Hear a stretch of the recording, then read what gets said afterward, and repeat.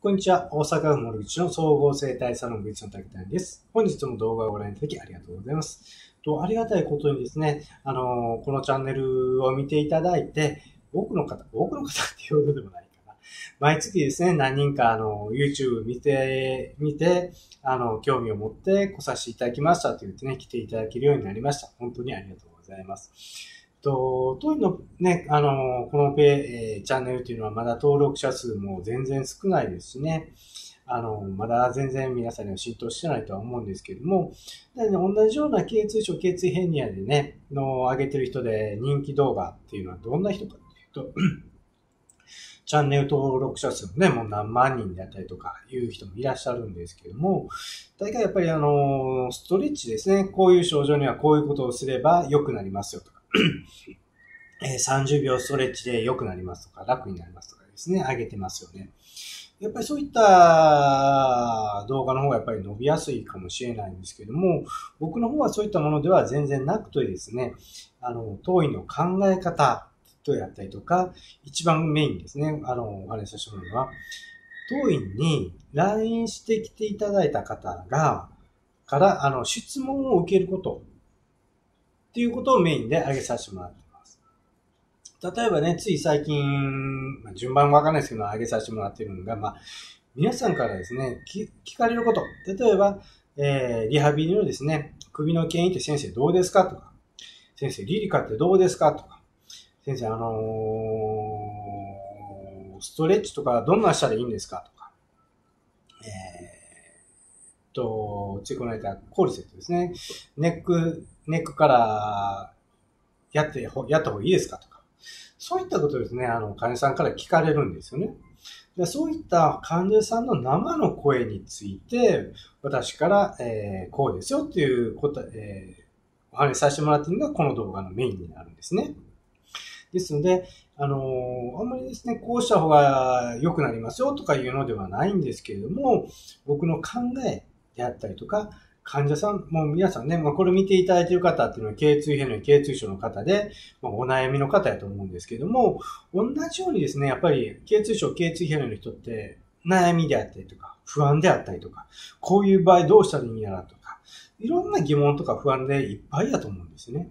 そういった人の参考になればいいかなと思ってあげさせてもらっているのがこちらのチャンネル。で、実際にですね、あのー、こういった動画を上げさせてもらうことによって、えー、皆さんですね、あの、先生の動画を見て、あの、いいなと思って来させてもらい、来させてもらいましたという方がね、非常に多いですね。うん、で、あの場合によってはですね、地方の方、地方の方っていうか、ごめんなさい、言葉悪いですけどね、大阪以外の方ですね。例えば、東京の人が見て、あのすごくいいなと思ったんですけども、なかなか通えないんで、先生のお知り合いの先生いませんかっていうことでね、お問い合わせいただくこともあります。ただ、残念ながらですね、あの、これがいるかいないかって言ったらね、まあ、例えばいろんなとこに知り合いも多少いるんですけども、いるいない別として、やっぱりこの動画を上げてるっていうことは、今お話しさせてもらう僕の考えで上げさせてもらってるというのと、治療自体も僕の完全なオリジナルなんですよね。ですので、僕以外の人っていうのは、僕以外の全く違う考えであったり、施術方法ってなりますので、いくらここにこういう知り合いがいますよって言っても、全く別物っていう感じで考えてもらわなあかんんですよね。で、まあ、かといってですね、あの、知り合いがおるならば、えー、この先生は僕の知り合いですよと。まあ一応相談されてみたらどうですかとかいうお答えでね、返答はさせていただくんですけれども、全くですね、あのー、僕の考えとは違うし、施術方法も違うということはね、あらかじめ分かっておいていただかないといけないことなんですね。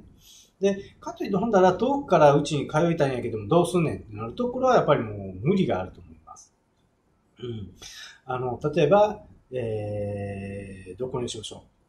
う？うん。例えば、えー、もう新幹線乗ってこなあかんねんとか、飛行機乗ってこなあかんねんと。なら、かといって1ヶ月に1回しか通えないんです。となったら、やっぱりね、改善を目指すっていうのは難しいんですよね。改善を目指していくには、やっぱり週1回、最低週1回。本当に痛みがですね、辛くてたまらないっていう方に関しては、週に2回お勧めさせてもらってっていうのは、めちゃくちゃ痛いわけですね。めちゃくちゃ痛い人が、あの、一回やって、また一週間後までまたそのめちゃくちゃ痛い状態を我慢して一週間後に来ないといけないんですよね。それならば、えー、3日後とかですね、もう一度来ていただいたら、ある程度ですね、あの、がん、めちゃくちゃ痛いっていうも、またそこの時点で、また施術ができるわけですよね。だから、その、一週間ずっとめちゃくちゃ痛いって我慢する線でも、途中で一回またですね、あの、うちに来てもらって施術をすることによってより楽になる可能性っていうのがあるんですね。ですので、めちゃくちゃ痛い人に関しては週2回ぐらいお勧めさせてもらってるのに、めちゃくちゃ痛いのに飛行機乗ってわざわざ来なあかんから1ヶ月に1回しか行けない、来れないですって言ったら、やっぱりそれはちょっとね、あのー、無理ちゃうかなと思うんですよね。なら、あのー、わかりましたと。週1回通いますからぜひなってきても、それもね、どうかなと思うんですよね。っていうのは、あの100%ね、うちで直せるってわけではないんですよ。残念ながら。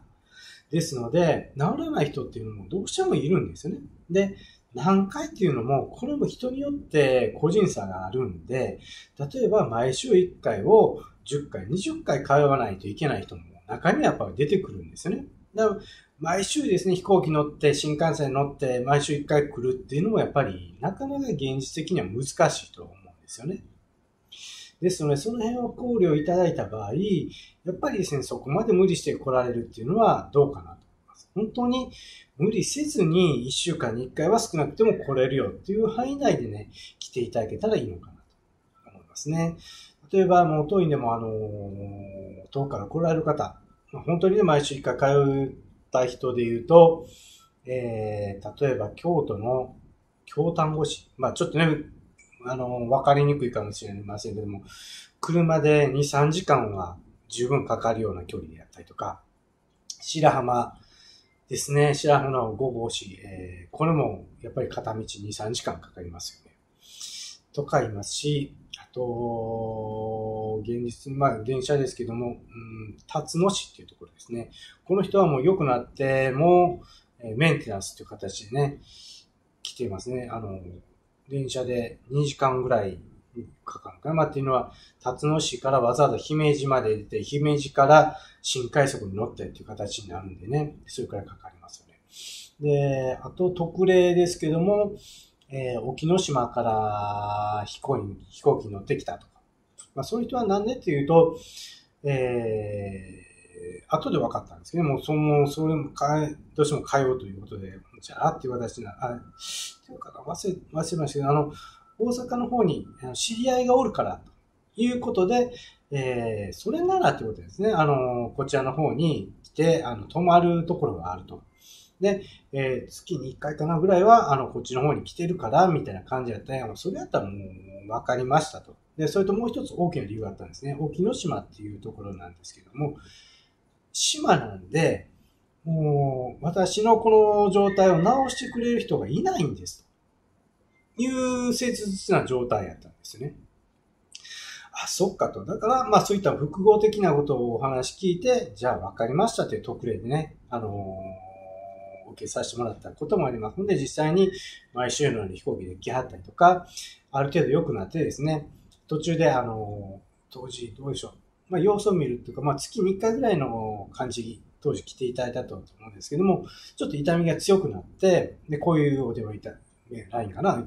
もう痛ってしゃあないから、もうこれやったらもうそっちまで飛んだ方が早いから先生見てほしいって言ってね、連絡が来て、その日か翌日かにはもう飛行機が飛んできたという時もありましたよね。そういった特例はあるんですけれども、あの、そこまでね、気合を持って、やっぱり通ってもらう覚悟っていうのが必要になってくるんですよね。ですので、あの、すごくね、あの、トイのことをね、この YouTube 見ていただいて気に入っていただくっていうすごくありがたいんですけれども、遠方の方とかはね、ちょっとその辺を考えていただいて、あの、来てもらわないと。本当に、えー、やっぱりですね、週1回もしくは2回ですね、えー、治るまで通う覚悟があるのかっていうところを考えていただきたい。で、近くの人でもそうですけどね、あの、数回で治るでやろうと思って、来てもらったら偉い目になりますよ。そう簡単にはね、やっぱり治りません。うん、やっぱりね、頸痛症、頸痛ヘルニアっていうのはね、やっぱりそれだけ重厚な病気であって、あの、場合によっては手術もしないといけないような、えー、病気ですよね。それが2、3回治るとかね、そういったことを期待されたら困ります。ですので、あのぜひですね、えー、この動画を気に入っていただいて、ぜひね、通える範囲内、無理なく通える範囲内の人がありましたらね、ぜひ来ていただければ、もう私も誠心誠意頑張ってですね、あなたの頸椎症、頸椎変異を治すために頑張ってやらせていただきますので、ぜひご覧、え、検討していければと思います。はい。それではちょっと長くなりましたけども、えー、これまで、えー、ご覧いただきありがとうございました。えー、ぜひですね、チャンネル登録、グッドボタンお願いいたします。失礼します。